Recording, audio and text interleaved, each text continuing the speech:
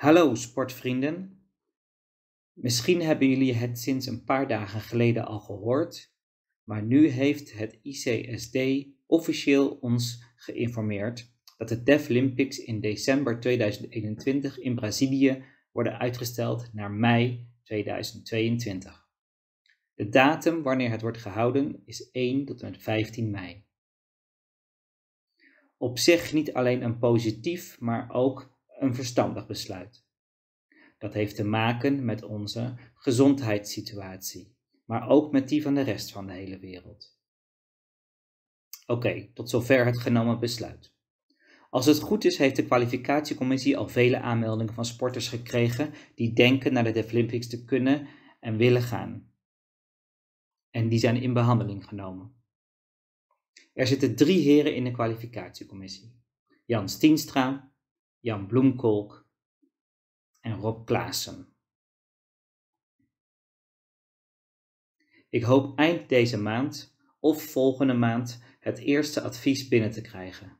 Maar uitstel van de Deaflympics geeft ons meer lucht om beter te kijken naar de prestaties en wat er nodig is om sporters om zich te laten kwalificeren voor de Deaflympics.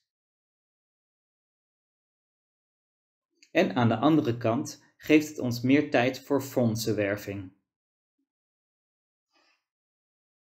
De fondsenwerving kan pas plaatsvinden als de omvang van het Nederlandse team duidelijk wordt.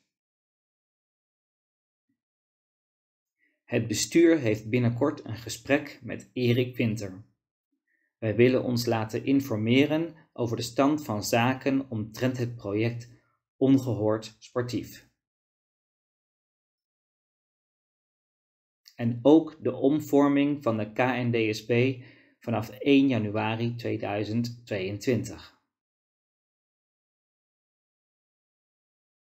En als laatste krijgen we signalen dat ons bestuurskader te weinig diversiteit behelst.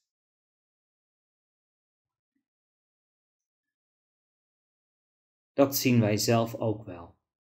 Ik kan alleen maar zeggen dat de komende tijd, waar het kan en waar mogelijk is, wij meer aandacht geven om ons bestuurskader meer divers te maken. Tot ziens.